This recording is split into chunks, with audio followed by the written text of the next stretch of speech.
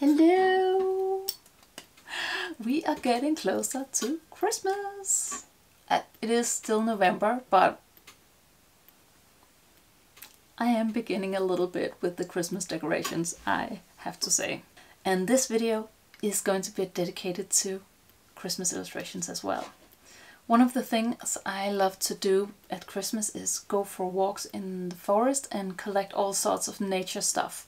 I think that connecting nature with Christmas kind of makes it feel um, more uh, in tune uh, and balanced, but also just a way to reconnecting with nature in the darker, colder month. It kind of slows the pace down a little bit, um, and I absolutely love that. And uh, I actually have a Christmas course dedicated to just that, where you learn to kind of take natural elements and sketch them in ink and wash and translate them into Christmas uh, illustrations if you are up for that. And today I'm going to demonstrate uh, something. This is not something from the course, but kind of the idea of the course. So we're going to sketch a bulb like this with a this is a glass bulb with an acorn hanging. You can see it's very minimalistic, simple, elegant, and um, just a perfect way to show the simplicity and elegance in Nordic uh, Christmas sketches. Yes, let's go with that. It's perfect for Christmas cards and uh, cards to put on gifts like this. So use this as an inspiration and uh, check out the course if you want more. And uh, let's dive in. Now I'm ready here and I've set up with my paper. This is a Canson Montval 300 grams uh, cellulose paper. I have my Daniel Smith paint. I have two brushes I might use. It's a size 4 and size 8 uh, Da Vinci Casaneo and uh, the one of them is short because I really like to be able to carry it around. So the short size is perfect for that. Then I have uh, two fine liners. I have a 01 and a 02. And I'm not sure if I'm um, which of these I'm gonna use yet, but we'll see. Then I have my pencil, and this is a size B or a it's a B. An eraser.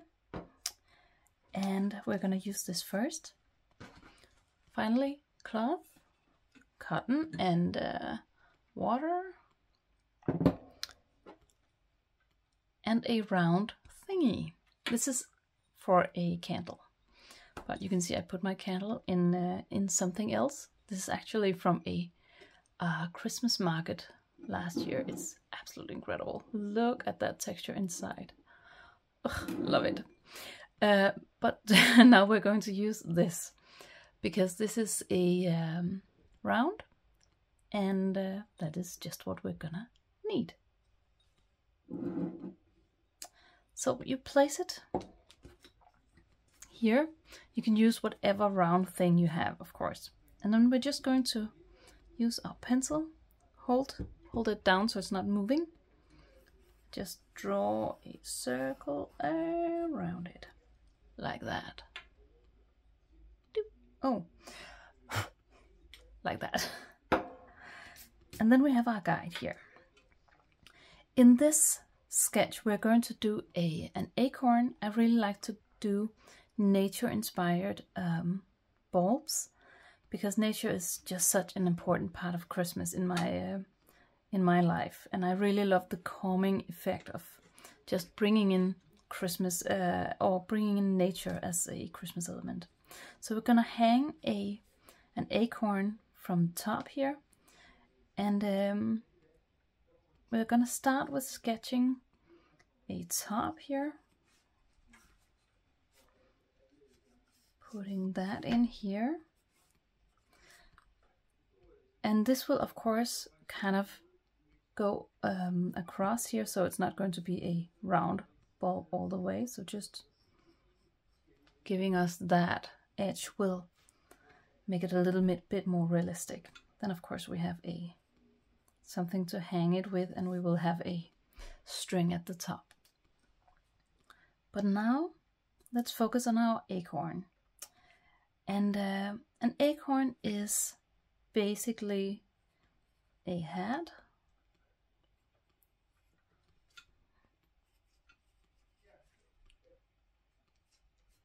like that and it has a bottom here which is the acorn itself. This is going to, going to be a very simple uh, composition. I think I'm going to put a small stem on that and then we can of course hang it here from the top so it has a it's attached there.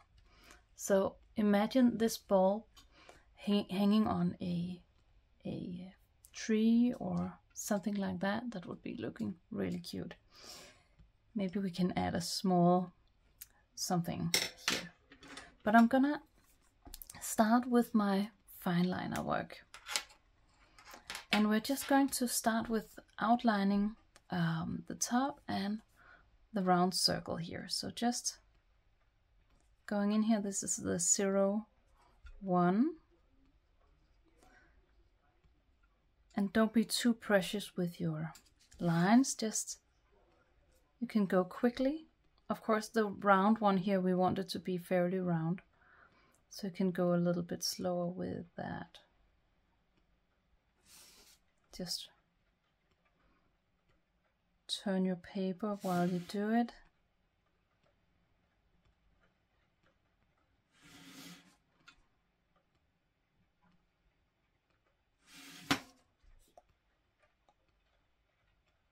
Almost there.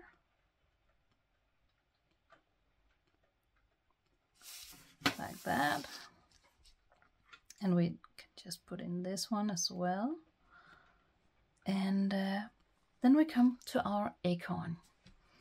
And I'm going to start with the top here. And the top on, a, on an acorn has a really beautiful texture. I'm just going to show you here an example.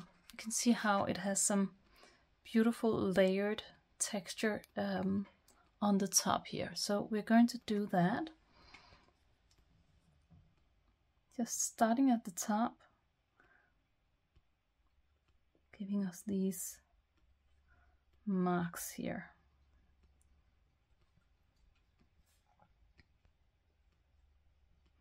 You can make them a little bit in variation in size, but try to see if you can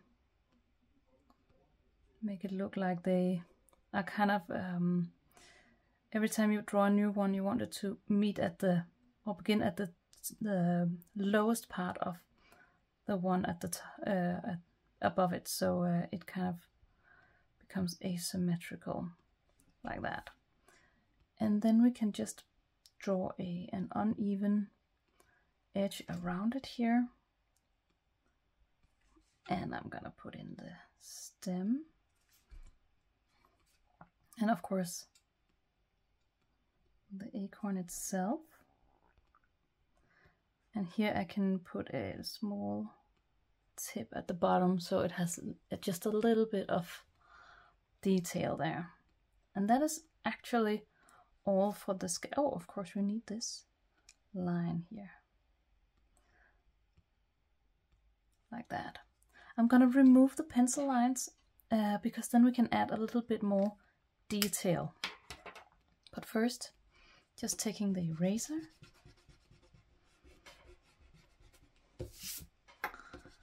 removing our guidelines.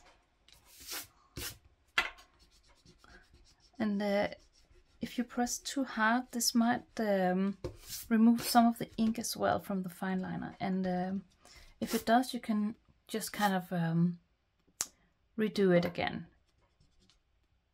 if you need to. So I can see, for example, here it's removed a little bit. So I can just go in and refresh it also a bit here. So there we go. Now it's refreshed. I'm going to add a little bit of dark details below some of these um, and I'll just lower this a little bit so you can see it a bit better. So just adding a little bit of dark here below some of these bends.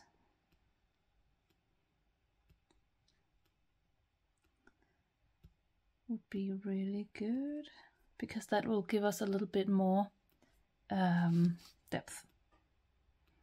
Also here below is a good place to add just a tiny bit of that shadow, like that.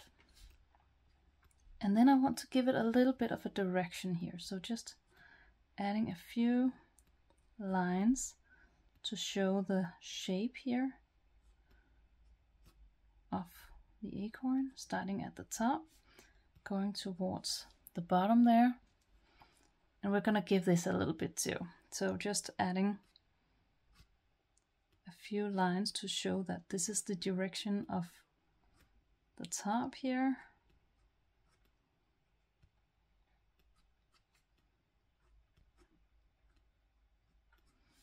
like that and uh, maybe just a little bit more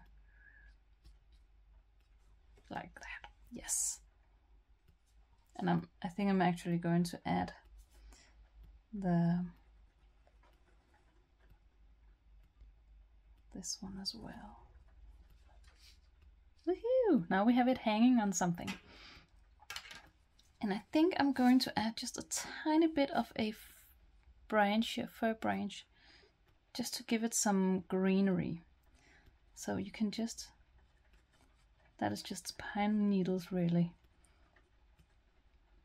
Could look really cool. Just a little bit of texture here and there. Um, so just drawing some quick needles like that.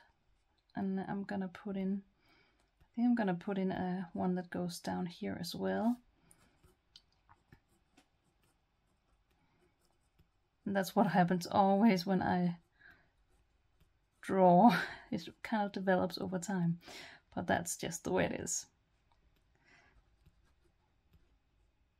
Sometimes it it's just intuition that sketches really. I think this looks pretty cool. There's an uneven feel to it, even if there is a a branch here and a branch here. There's also one here, so we kind of have three up here and two down here. So it kind of breaks the composition. I like that. Um, so now we can start adding our wash. I'm just going to lift the camera a little bit, like that. We can add our wash. And uh, here we're going to start with the acorn because we want this glass bulb to be kind of outside um, the acorn. So the acorn and this here um, we can paint, yes. I'm going to use the small brush. This was a size 4. And for the acorn, I'm going to use a brown, warm brown. It's a burnt umber. And I'll probably add uh, a bit of cool brown as well, but you can see I'm just going to put in a little bit and then leave some white space.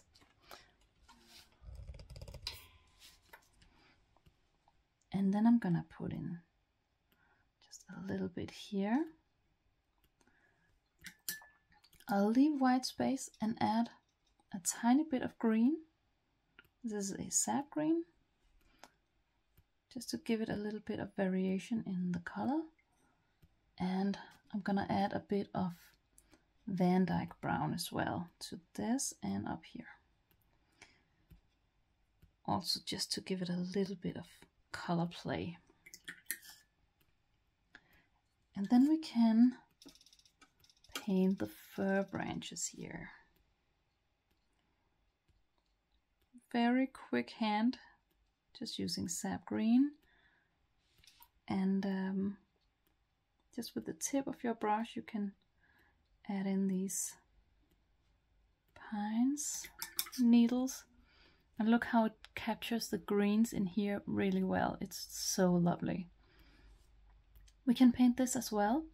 And I'm actually going to use a, a Payne's Gray for this And I haven't used any Payne's Gray in this, um, and that is a problem because it would, it, it needs to be tied together a little bit. But because we're going to use Payne's Gray for the bulb uh, as well, it's okay because then that Payne's Gray around the bulb will reflect on the pine, or sorry, the acorn as well, so that is not a problem. So I'm just adding some, some gray up here. Again, make sure to leave some white space. And I'm just going to add an extra shadow here at the sides. A little bit there. And I think I'm actually going to put in a little bit of green in this as well. Just because then it'll look like the Christmas tree is reflecting um, this part and that will look really, really lovely. So now I need to make this dry completely and we can come back to it afterwards. Now it is completely dry. And the reason why you want it completely dry is because we are adding another layer of water and uh, we really don't want to mess with the colors underneath. So now I'm going to take my bigger brush, size 8. If you feel like it's too big, then uh, go with a smaller brush to be able to control it a little bit better. I am, uh, I loaded it with water. Now I'm just painting with clean water at the edge here. All the way around. and I am going to put in a bit of Payne's Gray here.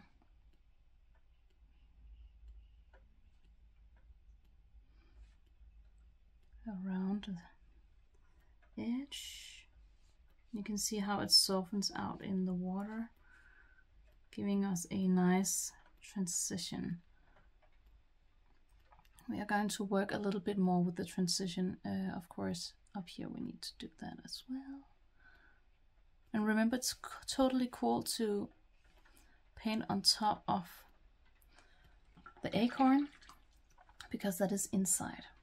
So now I rinse my brush and I'm dabbing it so it's a damp brush. Now we can kind of soften the edge here. So I'm just going around the edge of the water and softening it to make sure I don't get any annoying lines. And I think it is uh, around there. I'm to put in a little bit more here at the top to get the, more shadow feel. And as long as it's still wet, you can add more. And I'm already really, really liking this. I think it's kind of cool. Just adding a bit more. Do wish it was kind of a little bit more in front of the, on top of the, um, the acorn here. So I'm going to add just a tiny bit more.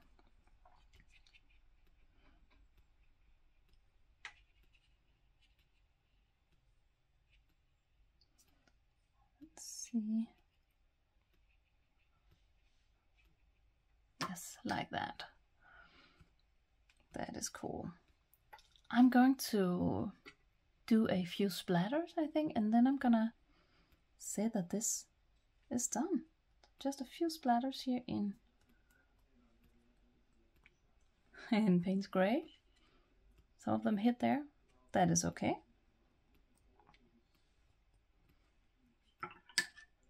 And um, that is it. And if you want to see even more Christmas illustrations and learn more things you can put in Christmas bulbs, uh, but also just learn compositions and see how to create Christmas cards or, you know, to and from cards like these, and this, and this, then uh, check out my Christmas course. There's a link below, and uh, you are more than welcome to join that to create some self-made love for your Christmas gifts this year. or Christmas cards if you prefer that. So you can check that out and uh, enjoy your Christmas painting. I love it's super fun. I love to paint at Christmas, so this is incredible. I hope you uh, got some inspiration for your Christmas illustrations and uh, Christmas cards this year. Uh, remember, you can also put them on the small uh, tags you put on gifts. So just using these small sketches to put a little bit of love into your presents is such a beautiful thing to do, especially in a month of love and giving. So I hope you will uh, you will try that. And of course, if you want more Christmas illustrations, check out my Christmas course. There's a link uh, here below. And I will uh, absolutely love it and uh, hug you and kiss you if you want to follow my channel so you know when there's more. And yes, I think that is it for now. Have a wonderful, wonderful day and I will see you in the next video. Bye!